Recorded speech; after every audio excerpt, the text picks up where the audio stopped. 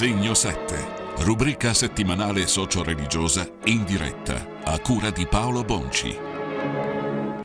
Buonasera e benvenuti a questa venticinquesima puntata della 32esima edizione di Segno 7. Siamo nella settimana santa, oggi nella cattedrale di Fiesole, eh, di fatto è cominciato il giovedì santo con la eh, con la celebrazione della messa crismale, della messa la, della benedizione eh, degli oli, che di per sé eh, sarebbe la messa tipica del giovedì santo, della mattina del giovedì santo, il momento in cui tutti eh, i sacerdoti della diocesi si riuniscono intorno alla cattedra del vescovo e eh, avviene quel rito toccante e poetico anche della benedizione degli oli e della consacrazione del crisma, ovvero gli oli che poi serviranno per la vita della, uh, della comunità uh, diocesana e poi quindi a, a, scendere delle varie comunità parrocchiali. Ecco, stiamo uh, aspettando l'arrivo del nostro ospite, il vescovo di Fiesole, ha trovato dei rallentamenti in, in, in autostrada, ma uh, sta arrivando. Comunque cominciamo uh, questa uh, puntata entrando subito nel, nel, tema, il titolo è quello consueto, è una delle trasmissioni tradizionali di Segno 7, conversazione eh, pasquale. Quindi entriamo subito nel tema della Pasqua, eh, mandando dei servizi che Giovanni eh, Fantoni ha preparato partecipando alla, alla, festa delle palme, ovvero alla versione diocesana della, uh, della giornata mondiale della gioventù che abbiamo celebrato uh, sabato scorso, il sabato antecedente, appunto alla domenica, alla domenica delle palme, all'oratorio di Figline Valdarno e poi con la messa in piazza Marsilio Ficino a Figline. Ecco, intanto mandiamo il primo servizio eh, che riguarda eh, la festa dei ragazzi all'oratorio.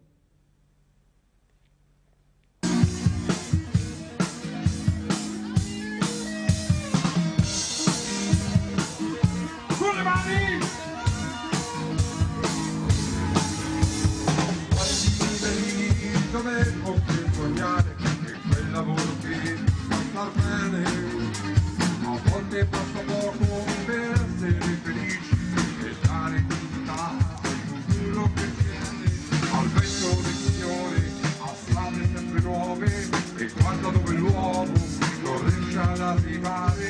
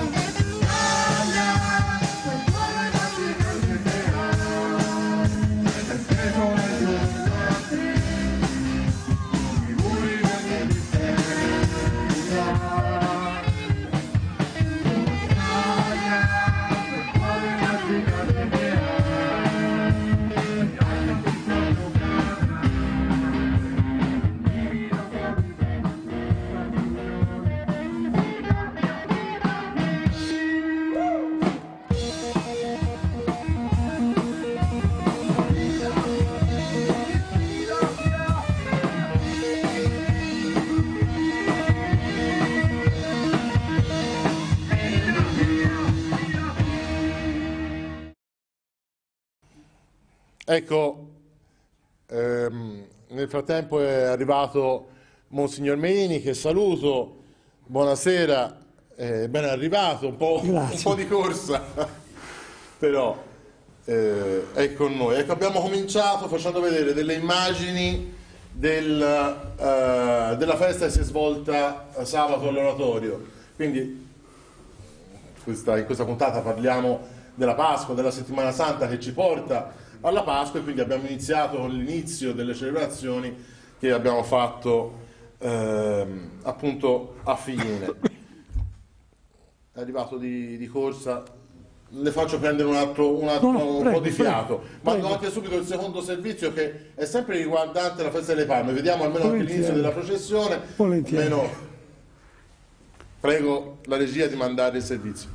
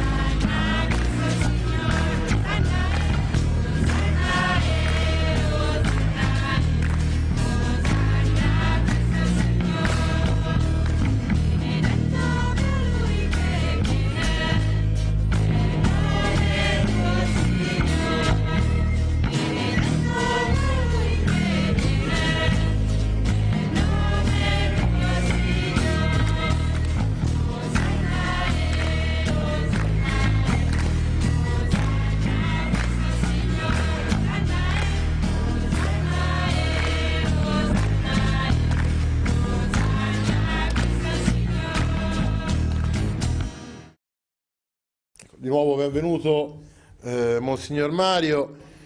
Quindi, la festa eh, delle palme, ecco, la, la settimana santa si apre con la Domenica delle Palme o Domenica di Passione, una liturgia bipartita, si passa dalla, eh, dal trionfo dell'ingresso eh, in Gerusalemme alla tristezza della croce, al momento eh, della, eh, della morte. Quindi in qualche modo però già quindi, eh, si racchiude già nella settimana, il, nella, nella Domenica delle Palme un po' quello ci prepara a quello che stiamo per vivere. Ecco. Certo, buonasera a tutti e mi scuso del ritardo, ma qualche intoppo in autostrada penso sia capitato anche ai telespettatori. Me ne scuso veramente.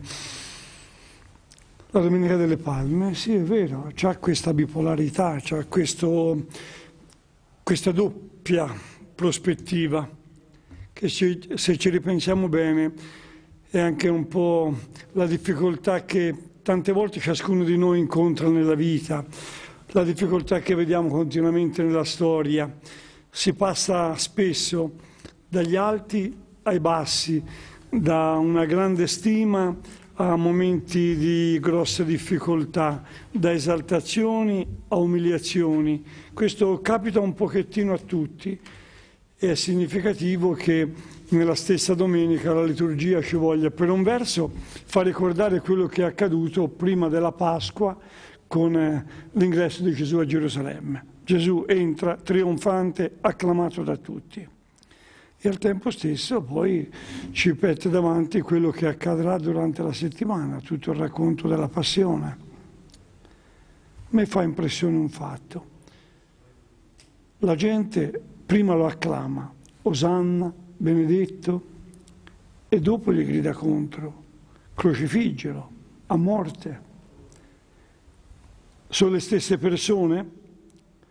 Non tutte certamente, ma molte di loro sì. Allora, a seconda chi è che sobilla, la gente si comporta in maniera diversa?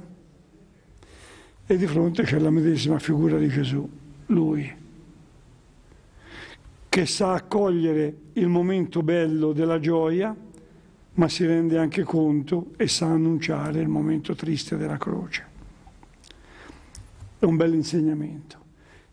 Il coglierle insieme, il celebrarle insieme ci dà una bella prospettiva di vita. Nessuno di noi, di noi si può mai montare la testa quando le cose vanno molto bene, però nessuno deve anche sentirsi solo nel momento della prova. L'uno e l'altro, tanto più che poi entrambe prevedono l'alba della risurrezione. E quindi seguiremo poi questo eh, cammino anche in questa puntata. Quindi però eh, ora partiamo appunto dall'inizio, rimaniamo un attimino all'aspetto del trionfo, all'aspetto Certo. eh, della gioia.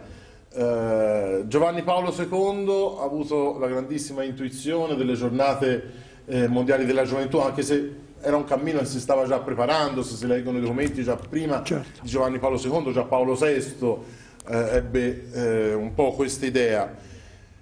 Però, indipendentemente da questo, la giornata mondiale della gioventù viene a legarsi al momento della, eh, del- della Domenica delle Palme. Ecco, vorrei soffermarmi un attimo sul messaggio di Papa Francesco ai giovani eh, per quest'anno. Il, il titolo Non temere Maria perché hai trovato grazia presso Dio. Questo messaggio, eh, prima di entrare proprio nel nei nuclei del messaggio, si, eh, si pone espressamente, nelle prime parole lo dice, nell'ottica della prossima assemblea ordinaria del Sinodo dei Vescovi, i giovani, la fede e il discernimento vocazionale. Ora io chiedo a, a Monsignor Meini, vescovo e vicepresidente della CEI, quali sono le urgenze che i vescovi vedono su questo, eh, su questo tema, su questo tema che andranno poi a dibattere in assemblea ordinaria? Come sta- si stanno preparando i vescovi a discuterne? Ma intanto perché la giornata mondiale è legata alla Domenica delle Palme? Perché il Vangelo stesso racconta che i giovani ebrei acclamavano Gesù e quindi eh, pueri ebreorum, la famosa antifona. Quindi legata a quello, se i giovani di allora, perché non i giovani di oggi? E la proposta così è venuta e così poi progressivamente è maturata, si è approfondita e siamo alle cose di oggi. Il sinodo invece, dopo il sinodo sulla famiglia, dopo che si è parlato a più riprese, a due riprese sulla famiglia, Papa Francesco ha voluto che si parlasse dei giovani in continuità, perché i giovani non sono un ente a sé stante, vivono in famiglia, sono legati alle proprie famiglie, anche se poi, chiaro, devono fare il proprio salto nella società e nella storia. Però legato alle famiglie giovani e interpellare i giovani. In questi giorni si è svolto a Roma, proprio prima della giornata delle Palme, la settimana scorsa, un pre-sinodo per sentire alcuni gruppi, categorie di giovani, che cosa loro stessi suggeriscono. Prima ancora di essere i vescovi a parlare dei giovani, a mio avviso è molto bello che possano essere i giovani a parlare ai vescovi. Che cosa vi aspettate da noi? Come la Chiesa vi può essere di aiuto? Voi giovani che vivete nella Chiesa, quali istanze sentite? Quali sono le cose più importanti per voi? Ecco, metterci in questo dialogo, in questo ascolto, credo che sia profondamente importante. E poi vedere i giovani come risorsa, sentirli come risorsa. E allora è stata fatta un'inchiesta in tutte le diocesi del mondo chi ha voluto, chi ha potuto ha risposto, sono stati mandati tantissimi contributi, è chiaro che vengono vagliati, vengono messi in sintesi per poi giungere a una discussione sui delegati, i vescovi, alcuni vescovi delegati da tutto il mondo saranno circa 300, no? per vedere che cosa possono rispondere alle istanze che i giovani hanno manifestato. Ma questa osmosi, questo dialogo, questo credo che sia importante, perché se pensiamo di fare solo delle prediche ai giovani siamo fuori luogo. Credo che dobbiamo ascoltare, sono profeti, sanno dire tanto se vogliono. E vediamo cosa Papa eh, Francesco dice ai giovani. Volevo soffermarmi in particolare su tre nuclei del messaggio. Prego. Il discernimento che nasce dal dialogo, Certo, la grazia e il coraggio. certo. Questi sono un po' i tre eh, nuclei. Ecco, come pensa che queste parole parlino non solo, non tanto ai giovani del mondo, ma ai suoi giovani fiesolani? Non è semplice perché il- la prima cosa importante è avere un linguaggio che si mette in sintonia con i giovani. Il linguaggio di oggi dei nativi digitali, il linguaggio dei giovani che hanno le loro attese, le loro speranze. Per me, adulto, ormai anziano, non è facile avere questo linguaggio.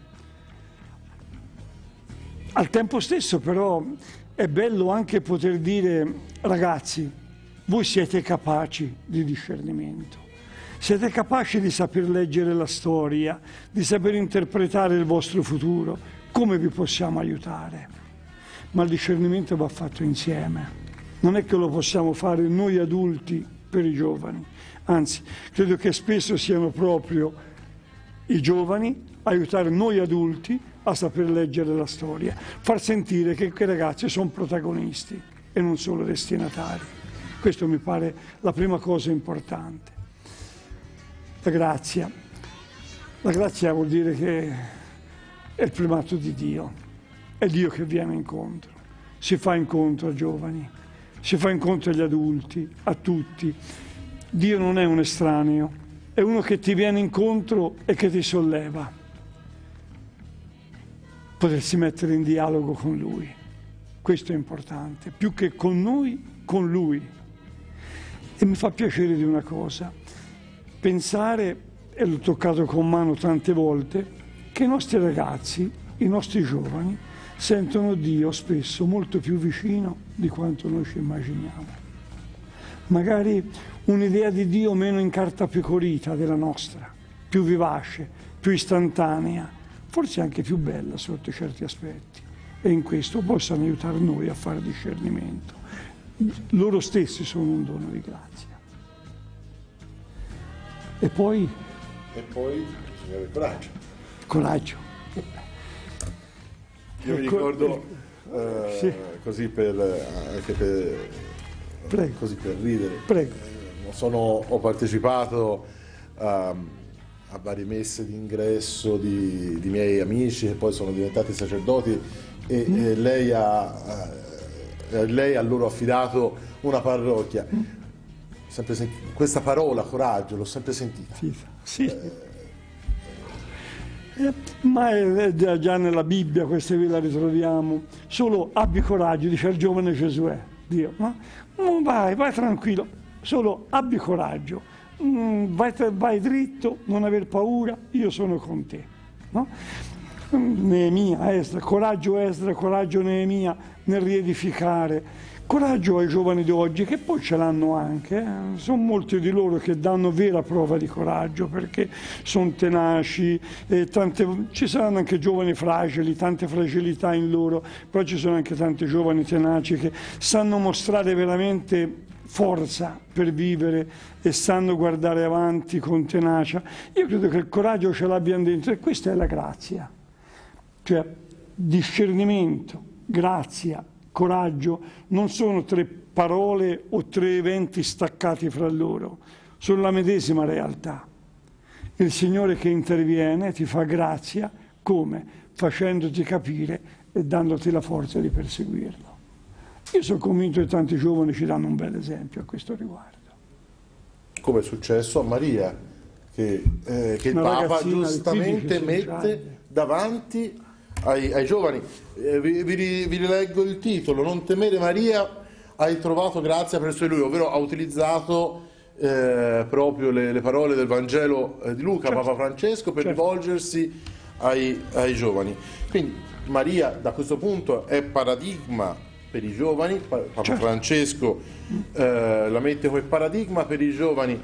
Eh, vorrei però vedere, eh, ora cominciare a parlare veramente della settimana santa anche. Quindi- Posso, prima una piccola cosa, proprio riguardo a Maria. Come ce la presenta dei Vangeli, una ragazzina molto giovane, sposavano molto presto le ragazze ebree all'epoca, non sciocca, si pone problemi. Come è possibile? Chiede spiegazioni, chiede un segno. Poi però la disponibilità, eccomi, ci sono, eccolo il coraggio. Cioè una ragazza che affronta una maternità, quindi che affronta una missione di vita senza paura, chiedendo segni, spiegazioni, però quell'invito non temere se lo prende tutto e credo che possa dir tanto ai giovani e a noi adulti, a tutti insieme. appunto, una figura chiedendo, viva, Maria. Maria eh, cosa insegna? Eh, abbiamo visto il Papa la, la pone di fronte ai giovani, ma a ognuno di noi, a ogni cristiano, cosa eh, ci insegna Maria? In particolare eh, per quanto riguarda il nostro vivere la settimana santa. quello- la fedeltà a quel punto, perché Maria nella settimana santa compare nel Vangelo di Giovanni sotto la croce, stava sotto la croce di Gesù, Maria, sua madre, le altre donne. Cosa mi dice? Di una mamma, ormai non più giovanissima, è chiaro, aveva il figlio grande, di una mamma che sa stare anche nel momento della sofferenza, ha stabilità anche nel momento della sofferenza. Mi fa pensare a tutti i miei scoraggiamenti, a tutte le piccole cose di ogni giorno e vedere invece questa donna che è lì sotto la croce del figlio, condannato ingiustamente, sofferente nella maniera più atroce possibile, lei sta là, non lo abbandona, c'è, ha fiducia in lui, lo sostiene. Questo mi sembra meraviglioso. Una donna forte. La settimana santa di Maria mi pare proprio lì, cioè donna forte accanto al figlio, non si sviene, non lo abbandona, cioè ci sta. Grazie.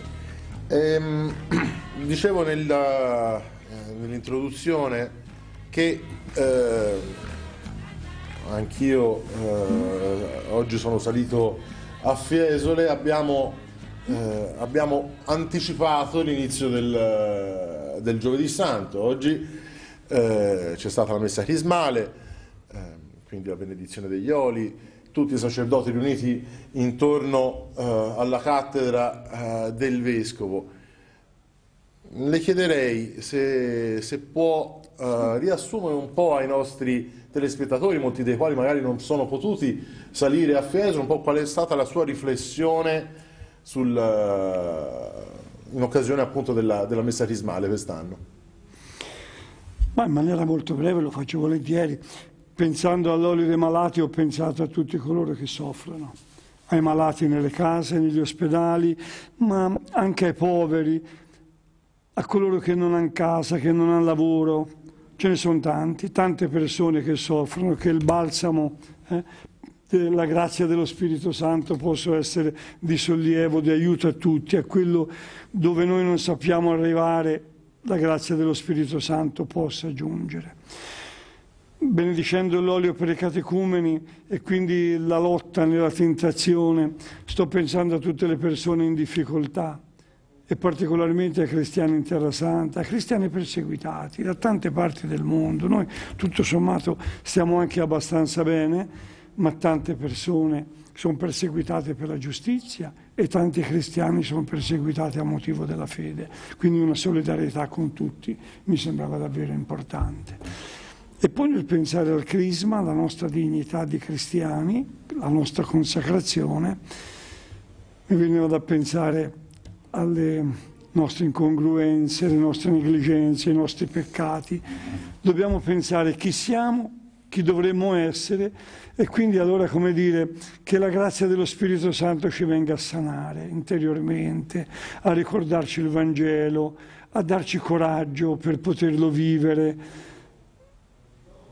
Un invito per tutti era fare un po' un check-up spirituale eh, a Pasqua alludevo chiaramente alla confessione pasquale, ma non fatta così per fare come un piccolo rito, no, ma proprio come un lasciarci pervadere interiormente per riconoscere chi siamo, chi dovremmo essere, chi possiamo essere, grazie a Dio, rivedere la nostra dignità e ripartire con gioia, con entusiasmo. Poi i sacerdoti hanno rinnovato le promesse della loro ordinazione, un momento anche molto bello erano tanti, mi hanno commosso.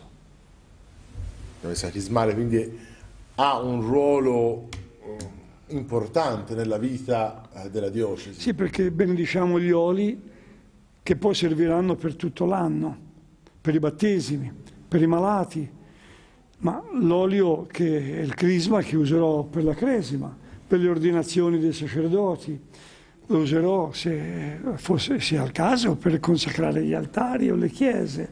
Quindi è un po' la prospettiva sacramentale di tutto l'anno, ecco, l'inizio della Pasqua in ogni cattedrale. Um, vorrei aspettare un attimo, entrare nel triduo perché mm. tri- vorrei eh, non rompere io stesso mm? con, la, con, la, pubblicità eh, la grandezza okay. del triduo. Però abbiamo ancora eh, due, eh, due, minuti prima della pubblicità, sì. ecco, eh, però eh, la domanda eh, quindi riguarda già il triduo. Ecco, come possiamo, come è possibile comprendere l'unitarietà di, di, questa lunga liturgia che per male comincia il pomeriggio del giovedì e finisce la notte, la notte di Pasqua. Mentre ascolto questo mi viene in mente un, detto medievale, il cucù, l'orologio della passione. Un modo di dare devozione popolare fatto in questo senso. A quest'ora Gesù faceva, a quest'ora Gesù faceva. Cioè era un, un orologio, come dire, no? un invito per la gente, anche molto semplice, ma per tutti, a rivivere momento dopo momento tutto quello che il Vangelo racconta e che Gesù ha vissuto in quel periodo. Scorrendo questo, l'unitarietà avviene. Poi ne riparliamo. E poi, appunto, è anche la parte dei Vangeli che è proprio più dettagliata. Più detta- la prima a essere stata Sappiamo... scritta veramente ora per ora che cosa, che cosa è successo. La prima a essere stata scritta, la più dettagliata, quella anche più viva, testimoniata più direttamente, poi il resto dei Vangeli sono una forma anche più composta in seguito, ma la passione è proprio diretta. Era, era il ricordo ultimo e quello più vivo. Certo. Pensiamo al giovinetto nudo di, di- di quest'anno, Marco. eh, diciamo, eh, ricca di... tutti i vari racconti della passione sono sempre ricchi di... Di sembrare cronaca, però poi ogni episodio ha la sua ricchezza e anche la sua indicazione spirituale. Bene, eh, come vi anticipavo, eh, la parte del, del triduo però ne parliamo per bene dopo la pubblicità in modo da mantenerlo unito come la liturgia ci, eh, ci suggerisce. Ci vediamo tra qualche minuto. Bentornati in studio per questa conversazione pasquale con eh, Monsignor Mario Meini. Siamo arrivati a parlare del triduo eh, pasquale. Cominciamo quindi con la messa in cena domini. Il messaggio centrale, il mandato dell'amore, che poi si declina eh, nell'istituzione dell'Eucarestia e del sacerdozio. Cosa non possiamo, noi cristiani, partecipando alla messa in cena domini, cosa non possiamo porta- non portare a casa? È interessante questo abbinamento no? e mi fa venire in mente, vicino al luogo dove io sono nato, c'è un convento francescano dove i frati avevano fatto eh, delle piccole cappelle per ricostruire in miniatura Gerusalemme, a San Vivaldo, San esatto, Vivaldo, sì. nel comune di Montaione a San Vivaldo, e eh, con delle bellissime robbiane di inizio 500 hanno ricostruito un po' Gerusalemme per i contadini boscaioli del posto che ovviamente non potevano recarsi in pellegrinaggio in Terra Santa, ma potevano fare un pellegrinaggio lì. E quando si arriva al cenacolo si trovano nella stessa cappella non una robbiana, ma due abbinate, gemelle. C'è la lavanda dei piedi e c'è Gesù che spezza il pane e lo dà ai suoi discepoli. Sotto certi aspetti è la stessa cosa. Gesù che dà se stesso in cibo ai discepoli è la comunione pasquale. Gesù che dà la sua vita, si toglie la veste, no? Proprio dà la sua vita per mettersi a servizio dei fratelli. Lavare i piedi, nella consuetudine ebraica di allora, era il gesto di accoglienza che faceva il servo, non il padrone di casa. Eh, veniva accolto l'ospite e il servo lavava i piedi. Gesù si fa servo di tutti, si mette a disposizione dalla sua vita. Tornando a casa dal giovedì santo, quel che non si può perdere è, per un verso, la comunione pasquale. Eh, ho fatto Pasqua col Signore, mi sono nutrito del suo corpo, ho preso il corpo che Lui ha dato a me in comunione. E per un altro, se il Signore si è fatto servizio, anch'io mi devo mettere a servizio degli altri. Come Lui ha amato me, io devo amare gli altri. L'Eucaristia e l'amore, la comunione e il servizio. È un insieme. Tutto mi devo portare a casa. E passiamo al venerdì santo. L'azione liturgica in passione e morte domini. Uno dei momenti, e mi si permetta, eh, esprimo la mia opinione, che nella sua austerità e essenzialità è forse dei più belli di tutto e toccanti dell'intero anno liturgico. È anche un momento di estrema sintesi. Gesù, che è Re nella Domenica delle Palme, Cristo, l'unto nella messa del Crisma, ha celebrato la Pasqua con i suoi, in questo momento ci viene presentato come il vero agnello pasquale. Al contempo però rischia, proprio per queste sue caratteristiche, di risultare anche poco attraente, perché è una, è una liturgia dura, siamo, Sì, siamo sinceri. Come eh, un sacerdote, come un vescovo può eh, tentare di farne riassaporare il, il gusto, specie in un momento storico come quello che viviamo, dove siamo abituati a avere tutto e subito, quindi anche fermarsi a riflettere sulla durezza sulla- della, della vita e di un momento non è, non è facile. Ma intanto vorrei dire, come liturgia ha un suo fascino, un fascino molto austero, però non è una delle liturgie più antiche. anzi si è sviluppata praticamente nel secondo millennio o poco prima. In antico il venerdì santo era un giorno senza l'azione liturgica. Non c'era la messa, non c'era nulla. Eh, la preghiera era proprio nel silenzio, nella contemplazione del mistero di Cristo morto. Poi si è sviluppata quella liturgia. È difficile perché è difficile il mistero della morte. È difficile perché è difficile il mistero della croce. In pratica tutto si svolge intorno alla lettura della passione e all'adorazione della croce. È là. Poi per richiamo si distribuisce anche la comunione, si dà la comunione con le ostie consacrate il giorno avanti, il giovedì santo, per mettere in evidenza il legame fra i due giorni. Però di per sé l'essenziale sarebbe proprio la passione, l'ascolto del racconto della passione e l'adorazione della croce. Questo non diventerà mai una liturgia popolare forte. Nella mia esperienza, quel che ho visto una volta diventare più di popolo questa liturgia è stato in un momento, dire quasi curioso. Ero giovane prete, andai a sostituire un parroco in una parrocchia piccolissima, veramente piccolissima, perché non c'era, no? non era possibile. E però avevo solo un momento dopo cena, dove quella gente era abituata a fare la processione popolare, però non era abituata alla liturgia. E in quel momento feci un fatto un po' più a così, a fantasia, cercai di mettere insieme le due cose.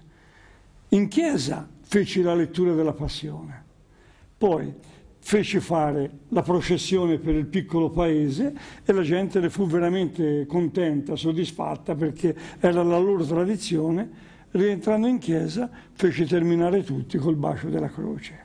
E fu un momento veramente anche solenne e popolare. Forse è stata l'unica volta in cui in vita mia ho visto quella liturgia del venerdì santo veramente partecipata dal popolo. Altre volte invece il popolo si riversa, soprattutto nel doposcena del venerdì santo, in alcune o via crucis o altre celebrazioni di carattere popolare, rievocazione della passione. Proprio quando ho abitato in Maremma c'erano alcune forme molto forti a questo riguardo e allora la devozione popolare direi esplode, si scatena.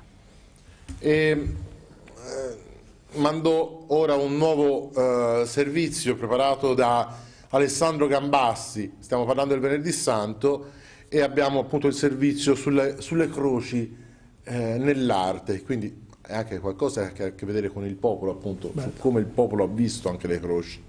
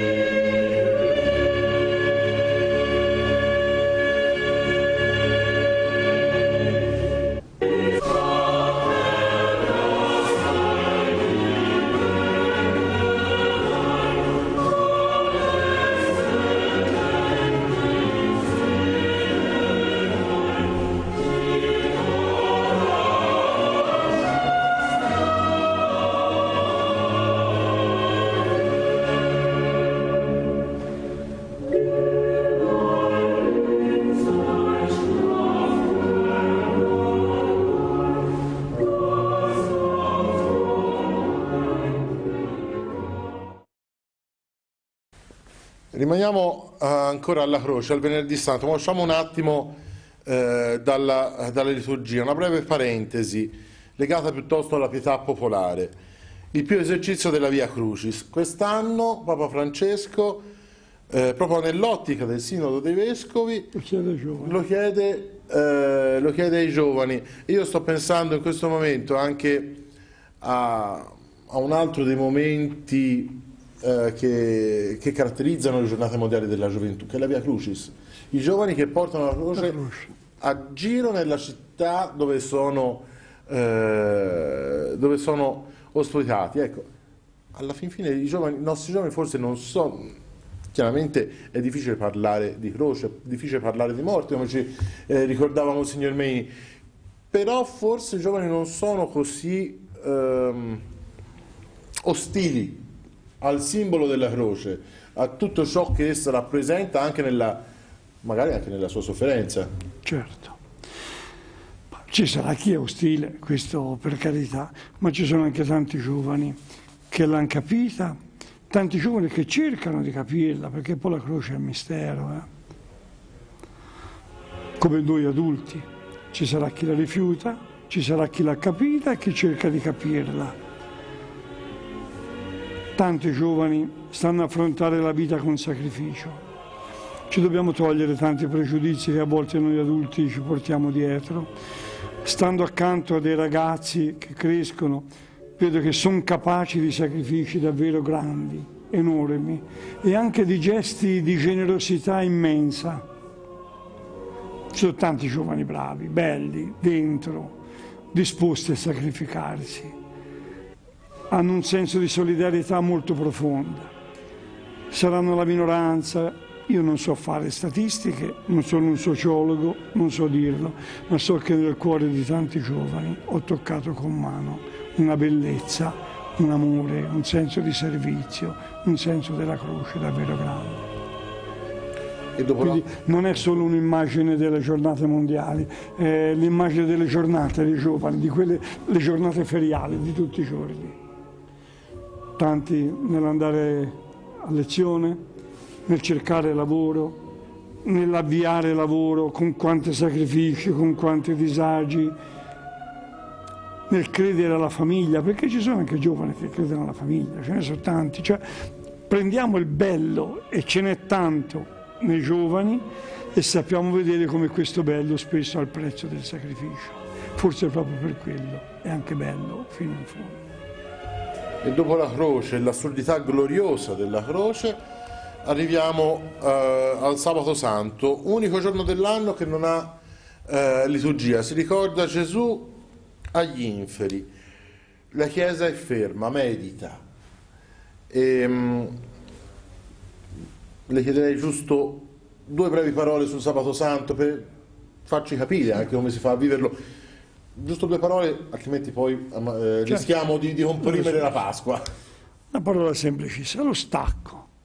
Cioè quello che mi ha fatto sempre impressione, ricordo una lettura da giovane che mi colpì tanto, anche Gesù ha avuto il suo stacco tra la vita mortale e la resurrezione, c'è questo iato, questo stacco del sabato santo, c'è il vuoto del sepolcro, la tomba, il silenzio, anche lui l'ha provato ci aiuta a capire quante volte nella vita è importante anche saper staccare, saper tacere, fermo, come l'inverno, che ha tutta la sua utilità anche quando c'è gelo.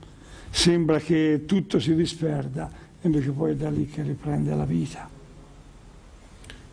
E dopo il sabato santo, dopo il silenzio del sabato santo, eh, inizia la veglia pasquale, la grande, eh, la grande notte, e comincia con un canto, con un inno, l'exultet, che è un po' una, una summa di, di tutto quello che, che stiamo celebrando in quel momento. Ecco, cosa dice questo inno a questa notte santa, questa notte felice colpa? Cosa dice questo inno al Vescovo Mario? Ma intanto l'inno è preceduto dalla, benedizio- dalla benedizione del fuoco e quindi della luce. Nel buio della notte la luce risplende, Cristo luce del mondo. la luce di Cristo.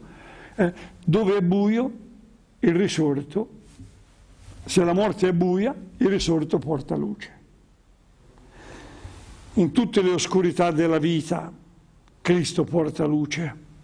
Ecco, il saper guardare a quella luce.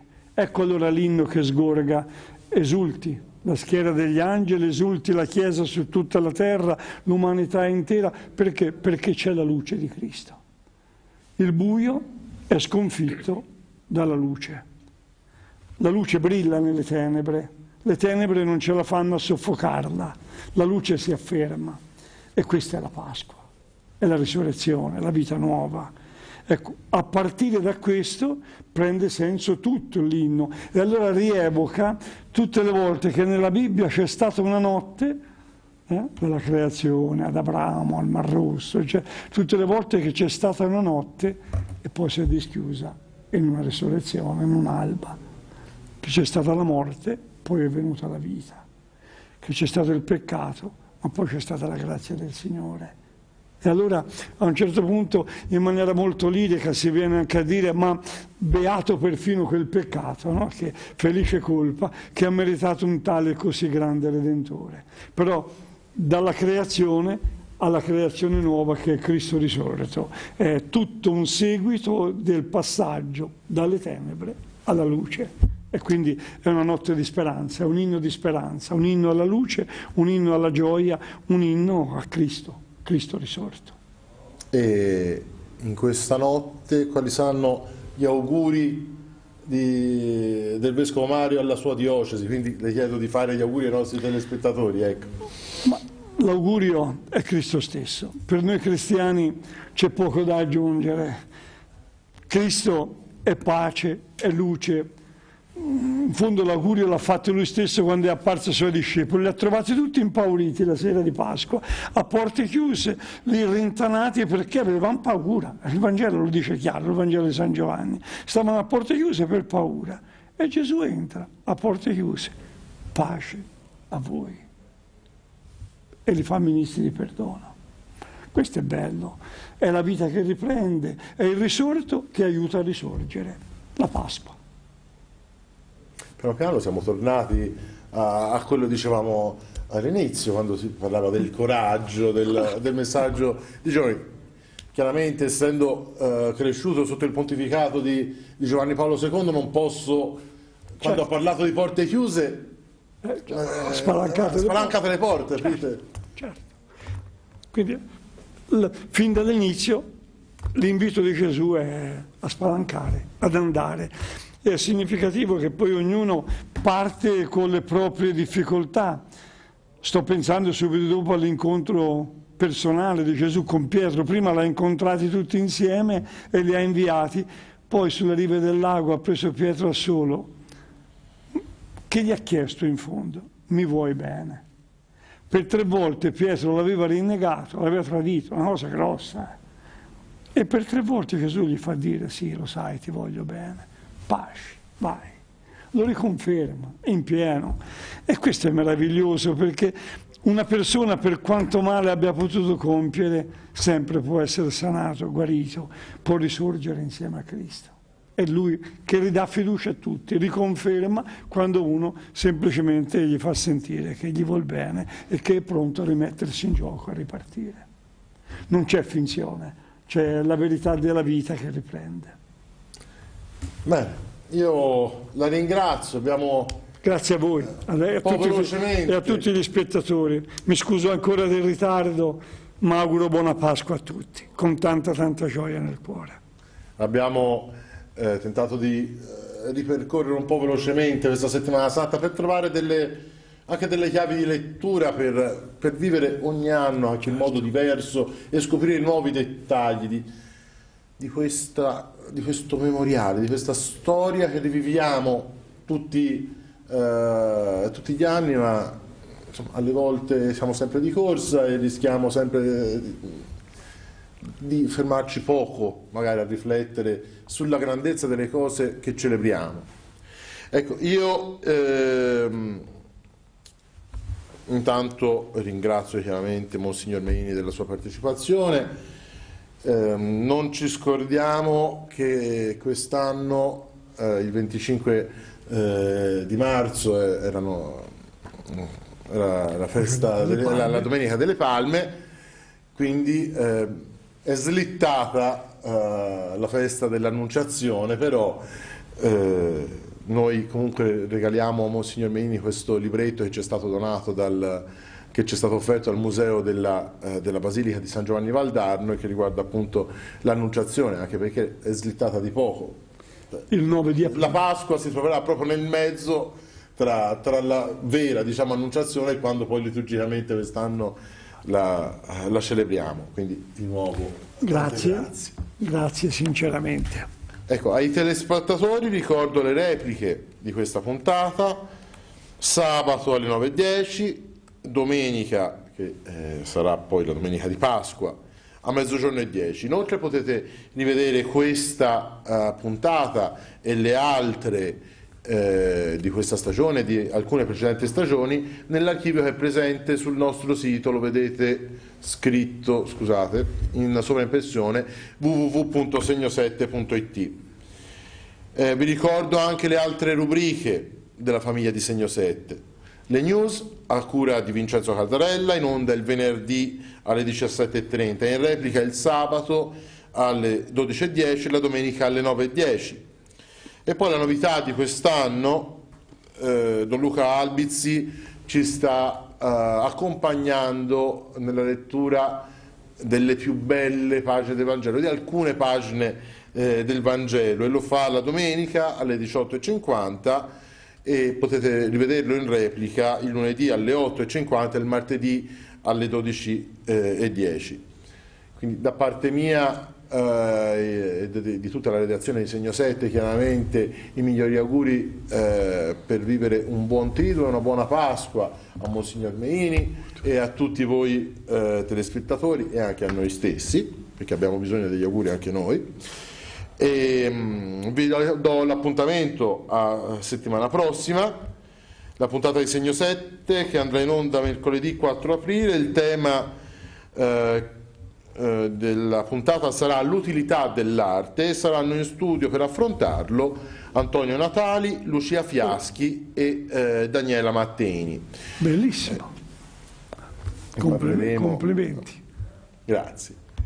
Ehm, app- sempre rimanendo in ambito eh, dell'arte, eh, chiudo questa puntata mandando l'ultimo servizio eh, che i nostri collaboratori hanno preparato per questa sera, che Alessandro Gambassi ha preparato un, eh, un servizio sulle immagini della, resurre- della resurrezione, la resurrezione come vista dal popolo. Prego, buona Pasqua.